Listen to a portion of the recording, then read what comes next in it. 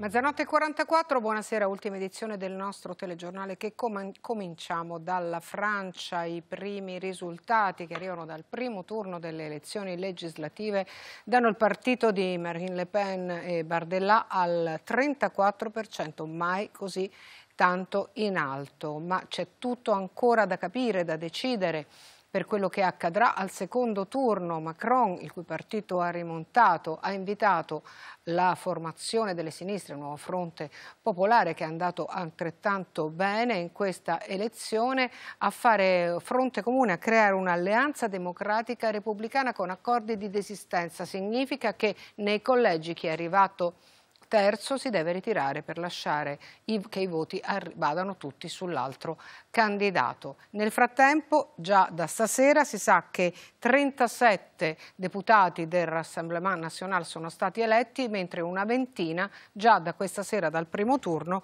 li ha eletti il nuovo Fronte Popolare. Ma vediamo tutto dall'inviata Adriana Bellini. È una Francia spaccata e disorientata quella che esce dal primo turno delle elezioni legislative con un'affluenza record attorno al 65%, la più alta da 40 anni. Come previsto il maggior numero di voti, circa il 33%, è andato all'estrema destra del Rassemblement National e ai suoi alleati.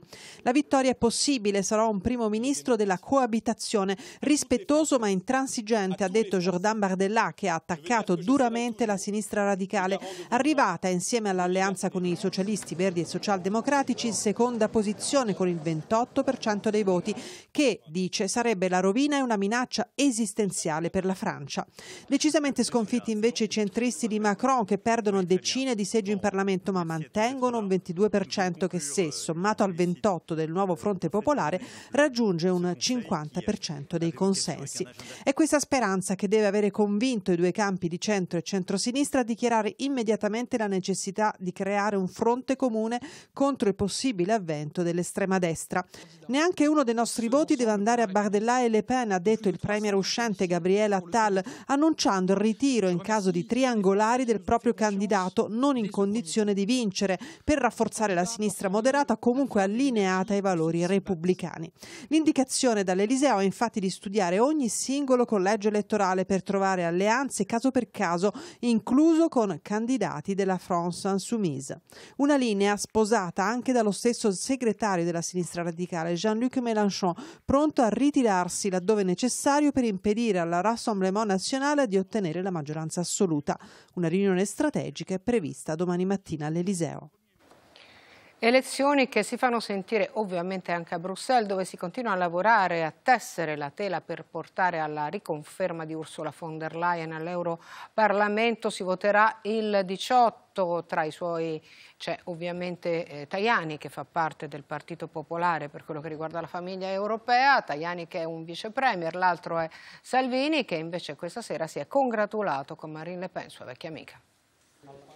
Il primo a complimentarsi con Marine Le Pen è l'amico di lunga data Matteo Salvini. Il vice premier segretario della Lega riconosce lo straordinario risultato ottenuto al primo turno delle elezioni legislative in Francia dal Rassemblement National e torna ad attaccare il presidente Macron. Si comporta come una von der Leyen qualsiasi, scrive Salvini su Twitter, e cerca in tutti i modi di opporsi ad un cambiamento espresso da milioni di francesi a Parigi come a Bruxelles. Al leader del Carroccio replica dal PD Deborah Serracchiani. Le Pen non ha ancora la maggioranza assoluta, l'opposizione è forte lo scenario mobile. Saranno cruciali i ballottaggi. Salvini, suggerisce l'esponente Dem, aspetti a far festa. Nel centrodestra di governo gli alleati sono compatti in patria, ma sempre più divisi nel contesto europeo. Da una parte Forza Italia con il vice premier Antonio Tajani che lavora per rafforzare la maggioranza Ursula versione 2.0, senza però l'entrata dei Verdi per von der Leyen.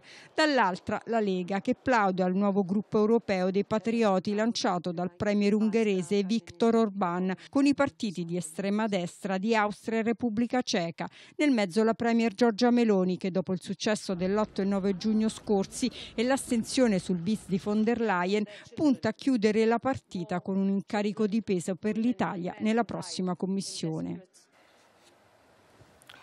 E adesso andiamo negli Stati Uniti, nonostante le pressioni da parte di alcuni elettori e della stampa democratica, le perplessità all'interno anche dello stesso partito, Joe Biden resiste e lo esorta a resistere l'intera famiglia che oggi era riunita a Camp David. Anzi, eh, non solo gli è stato chiesto di insistere e andare avanti, ma c'è una parte del suo entourage che ha attaccato coloro che hanno preparato, a loro dire male, il presidente al dibattito contro Trump. La famiglia Biden riunita a Camp David a tre giorni dalla disfatta del presidente nel duello televisivo con Donald Trump, un appuntamento già stabilito da tempo e annunciato una settimana fa, hanno ribadito più volte dalla Casa Bianca per placare le suggestioni che la successione degli eventi evoca, ma che al momento non appaiono suffragate dai fatti, che invece parlano di una Jill Biden, colei sulle cui capacità di persuasione puntano coloro che vorrebbero un passo indietro da parte dell'inquilino della Casa Bianca nella corsa alla rielezione, che difende a spada tratta suo marito definendolo non solo la persona più giusta per questo lavoro, ma l'unica persona per questo lavoro. Nessuna pressione dalla famiglia per una rinuncia chiesta ormai a gran voce da una parte della stampa progressista, anzi compatto anche il sostegno del Partito Democratico e dei suoi big, da Barack Obama a Bill Clinton, passando per il governatore della California Newsom, considerato uno dei papabili per prendere il testimone dal presidente. E proprio la mancanza di alternative in grado di sostenere e vincere il confronto con Trump è uno dei fattori che rende difficile ipotizzare un cambio in corsa. E poi c'è lo lo scenario che un ritiro di Biden creerebbe, evocato da un memo della sua campagna diffuso dai media statunitensi. Settimane di caos, torte in faccia, candidati che arrancano in una battaglia brutale sul palco della convention, mentre Trump avrebbe il tempo per parlare incontrastato agli elettori.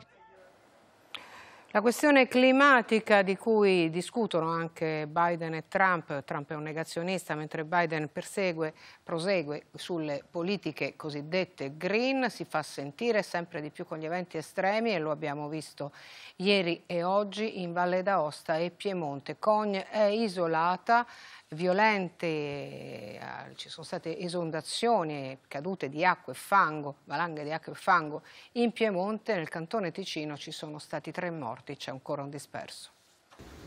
Torrenti esondati, frane, paesi isolati, centinaia di persone evacuate.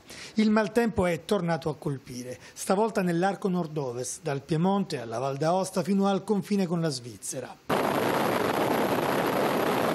Cogne è rimasta isolata per ore, senza luce e senza acqua, dopo che l'unica strada di collegamento col paese, la regionale 47, è stata danneggiata dall'alluvione. Poi la situazione è piano piano rientrata, ma per tornare a casa sono stati utilizzati gli elicotteri.